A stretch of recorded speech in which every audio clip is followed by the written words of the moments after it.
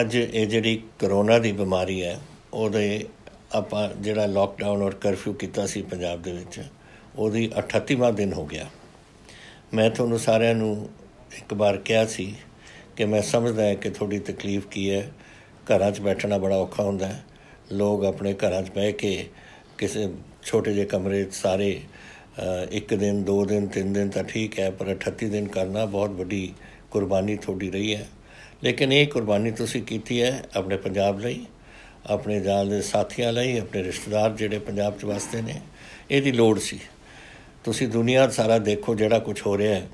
America ਤੁਸੀਂ ਹੁਣ ਅੱਜ ਦੇਖਦੇ ਹੋ 50000 ਬੰਦੇ ਮਰ ਗਏ ਨੇ ਇਸ ਬਿਮਾਰੀ ਨਾਲ ਔਰ 10 ਲੱਖ ਦੇ ਕਰੀਬ ਉਹਨਾਂ ਨੂੰ ਕਰੋਨਾ ਹੋਇਆ ਹੋਇਆ ਹੈ। ਤੇ ਇਹ ਸਾਰੇ ਕਿਤੇ ਦੁਨੀਆ 'ਚ ਚੱਲ ਰਿਹਾ ਹੈ। ਯੂਕੇ ਦੇ ਵਿੱਚ ਪ੍ਰਾਈਮ ਮਿਨਿਸਟਰ ਵੀ ਉਹਨਾਂ ਦੇ ਹੁਣ ਕਰੋਨਾ ਤੋਂ ਉੱਠੇ ਨੇ। ਬਾਕੀ ਜਰਮਨੀ ਹੋਏ, ਅਮਰੀਕਾ ਕੈਨੇਡਾ ਹੋਏ, ਤੁਹਾਡੇ ਸਵਿਟਜ਼ਰਲੈਂਡ ਹੋਏ, ਆਸਟਰੀਆ ਹੋਏ, ਕੋਈ ਮੁਲਕ ਨਹੀਂ ਛੱਡਿਆ ਜਿੱਥੇ ਇੱਕ ਚੀਜ਼ ਨਹੀਂ ਫੈਲੀ ਹੋਈ। ਅਸੀਂ ਕੁਝ ਦਿਨਾਂ ਤੋਂ ਜਿਹੜਾ ਅਸੀਂ ਕਦਮ ਚੱਕੇ ਹਿੰਦੁਸਤਾਨ 'ਚ, ਅਸੀਂ ਜਿਹੜਾ ਕਰਫਿਊ ਲੱਗਿਆ, ਜਿਹੜਾ ਲਾਕਡਾਊਨ ਲੱਗਿਆ ਲਾਕਡਾਊਨ ਤੋਂ ਵੱਧ ਕੇ ਅਸੀਂ ਕਰਫਿਊ ਲਾਇਆ ਸੀ ਪੰਜਾਬ 'ਚ।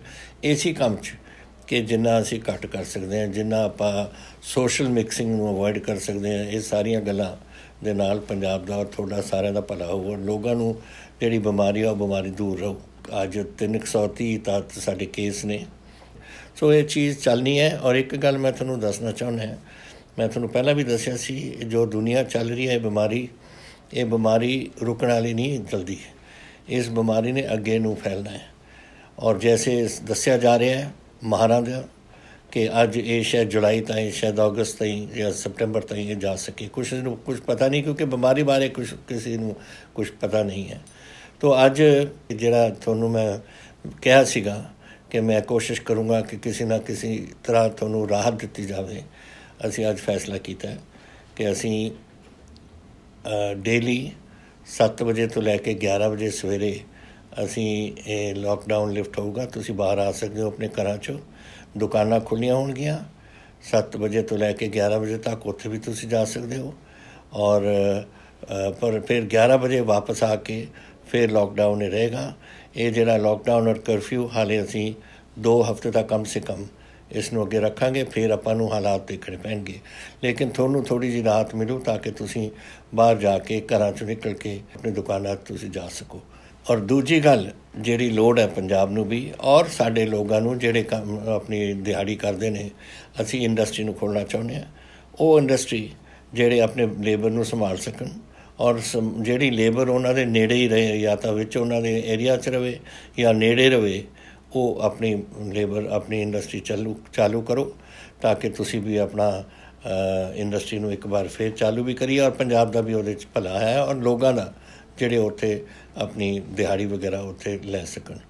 ਸੋ ਇੱਕ ਤਾਂ ਥੋੜੀ ਇੰਡਸਟਰੀ ਅਸੀਂ ਚਾਲੂ ਕਰਨਾ ਚਾਹੁੰਦੇ ਹਾਂ, ਇੱਕ ਅਸੀਂ ਦੁਕਾਨਾਂ ਖੁਲਵਾਉਣਾ ਚਾਹੁੰਦੇ ਹਾਂ, ਇੱਕ ਤੁਹਾਨੂੰ 4 ਘੰਟੇ ਦੀ ਰਾਹਤ ਦੇਣਾ ਚਾਹੁੰਦੇ ਹਾਂ ਕਿ ਤੁਸੀਂ ਬਾਹਰ ਜਾ ਕੇ ਆਪਣੇ ਦੁਕਾਨਾਂ ਜਿੱਥੇ ਤੁਸੀਂ ਜਾਣਾ ਹੋ, ਹੋਏ ਆਪਣੇ ਉੱਥੇ ਜਾਓ।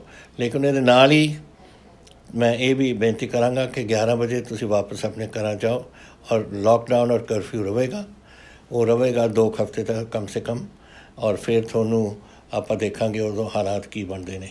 ਲੇਕਿਨ ਅੱਜ ਮੇਰੀ ਇੱਕੋ ਬੇਨਤੀ ਹੈ ਤੁਹਾਨੂੰ ਕਿ ਇਹਦਾ, ਇਹਦੀ ਕੋਈ ਇਲਾਜ ਨਹੀਂ, ਸਿਰਫ ਇਲਾਜ ਹੈ ਸੋਸ਼ਲ ਮਿਕਸਿੰਗ ਆਪਾਂ ਨਾ ਕਰੀਏ। ਤਾਂ ਅੱਜ ਵੀ ਜਦ ਤੁਸੀਂ ਬਾਹਰ ਜਾਓਗੇ ਪਲੀਜ਼ ਆਪਣਾ ਡਿਸਟੈਂਸ ਮੇਨਟੇਨ ਕਰੋ। ਉਹ ਜਿਹੜਾ 2 ਮੀਟਰ ਦੂਰ ਰਹਿਣਾ ਚਾਹੀਦਾ ਹੈ, ਆਪਣੇ ਮਾਸਕ ਪਾਓ ਔਰ ਅੰਦਰ ਜਦ ਤੁਸੀਂ ਘਰਾਂ ਚਾਹੁੰਦੇ ਹੋ ਆ ਕੇ ਤੁਸੀਂ ਉੱਥੇ ਵੀ ਆਪਣੇ ਆਪਣੇ ਆਪ ਹੀ, ਆਪਣੀ ਫੈਮਿਲੀ ਦੇ ਨਾਲ ਹੀ ਤੁਸੀਂ ਉੱਥੇ ਰਹੋ। ਐ ਨਹੀਂ ਕਿ ਦੋਸਤਾਂ ਨੂੰ ਆਪਾਂ ਬੁਲਾ ਲਓ ਜਾਂ ਕੁਝ ਕੁਝ ਕਰੋ। ਉਹਦੇ ਨਾਲ ਇਹ ਗੱਲ ਫਿਰ ਗੜਬੜ ਹੋ ਸਕਦੀ ਹੈ। ਔਰ ਮੇਰੀ ਮੇਰੀ ਕੋਸ਼ਿਸ਼ ਹੋਏਗੀ, ਅਗਰ 2 ਹਫ਼ਤਿਆਂ ਤੱਕ ਤੁਸੀਂ ਇੱਥੇ ਆਪਣਾ ਕਰੋਨਾ ਕੁਝ ਕੰਟਰੋਲ ਦੇ ਵਿੱਚ ਰਵੇ, ਫਿਰ ਆਪਾਂ ਕੁਝ ਹੋਰ ਸਕਦੇ ਹਾਂ। ਹੋਰ ਕੁਝ ਕਰਨ ਦਾ ਆਪਾਂ ਸੋਚ ਸਕਦੇ ਹਾਂ। ਜੈਸੇ ਆਪ ਨੂੰ ਪਤਾ ਹੈ, ਆਪਣੇ ਕਈ ਪੰਜਾਬੀ ਬਾਹਰ ਆਪਣੇ ਵਸੇ ਹੋਏ ਨੇ। ਕੋਈ ਹਜ਼ੂਰ ਸਾਹਿਬ ਵਿੱਚ ਹੈ, ਕੋਈ ਅਜਮੇਰ ਵਿੱਚ ਨੇ, ਕੋਈ ਕੋਟਾ ਦੇ ਵਿੱਚ ਨੇ, ਕੋਈ ਕਿਤੇ ਨੇ, ਪਹਾੜਾਂ ਦੇ ਵਿੱਚ ਨੇ, ਕੋਈ ਕੋਈ ਯੂਪੀ ਤੋਂ ਆਣਾ ਚਾਹੁੰਦਾ ਹੈ, ਕੋਈ ਹਰਿਆਣੇ ਦੇ ਵਿੱਚ ਵਸੇ ਹੋਏ ਨੇ। ਤੇ ਸਾਡੀ ਡਿਊਟੀ ਹੈ ਉਹਨਾਂ ਨੂੰ ਕਿ ਅਗਰ ਆਉਣਾ ਚਾਹੁੰਦੇ ਨੇ ਆਪਣੇ ਘਰ, ਅਸੀਂ ਉਹਨਾਂ ਦੀ ਮਦਦ ਕਰਾਂਗੇ ਉਹਦੇ ਘਰ ਆਉਣ 'ਚ। ਲੇਕਿਨ ਕਿਉਂਕਿ ਇਹ ਬਾਹਰੋਂ ਬੜੀ ਇਹ ਕੋਵਿਡ ਦੀ ਬਿਮਾਰੀ ਫੈਲੀ ਹੋਈ ਹੈ, ਤੋਂ ਜਦੋਂ ਆਉਣਗੇ, ਅਸੀਂ ਉਹਨਾਂ ਨੂੰ ਕੁਆਰੰਟਾਈਨ ਦੇ ਵਿੱਚ ਸਾਨੂੰ ਕਰਨਾ ਪਊ। ਉਹ 21 ਦਿਨ ਉਹਨਾਂ ਨੂੰ ਉਹਦੇ ਵਿੱਚ ਰਹਿਣਾ ਪਊ। ਔਰ ਉਹਦਾ ਪ੍ਰਬੰਧ ਅਸੀਂ ਕੀਤਾ ਹੋਇਆ ਹੈ ਔਰ ਜ਼ਿਲ੍ਹੇ ਦੇ ਵਿੱਚ ਤਾਂ ਕਿ ਉਹਨਾਂ ਦੀ ਉੱਥੇ ਰਹਿائش ਔਰ ਰੋਟੀ ਵਗੈਰਾ ਦਾ ਸਾਰਾ ਪ੍ਰਬੰਧ ਹੋਏ।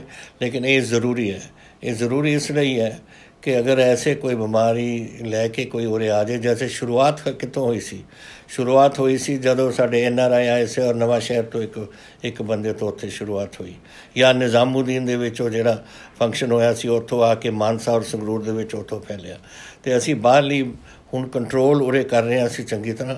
ਅਸੀਂ ਇਹ ਨਹੀਂ ਚਾਹੁੰਦੇ ਕਿ ਹੁਣ ਬਾਹਰੋਂ ਕਿ ਇਹ ਬਿਮਾਰੀ ਫੇਰ ਕਿਸੇ ਦੇ ਰਾਹੀਂ ਉਰੇ ਆਏ, ਤਾਂ ਕਿ ਤੁਹਾਨੂੰ ਇਹ ਔਖ ਜ਼ਰੂਰ ਹੋ ਥੋੜੇ ਦਿਨਾਂ ਵਾਸਤੇ, ਲੇਕਿਨ ਆਪਣੇ ਪੰਜਾਬ ਵਾਸਤੇ ਔਰ ਆਪਣੇ ਪਰਿਵਾਰਾਂ ਵਾਸਤੇ ਤੁਹਾਨੂੰ ਇਹ ਇਹ ਜ਼ਰੂਰੀ ਹੈ ਕਿ ਤੁਸੀਂ ਇਹ ਕਦਮ ਚੱਕੋ ਔਰ ਸਰਕਾਰ ਤੋਂ ਇਹ ਕਦਮ ਚੱਕ ਕੇ ਤੁਹਾਨੂੰ ਕੁਆਰੰਟਾਈਨ ਦੇ ਵਿੱਚ ਰੱਖੇ ਕੁਝ ਦਿਨਾਂ ਵਾਸਤੇ।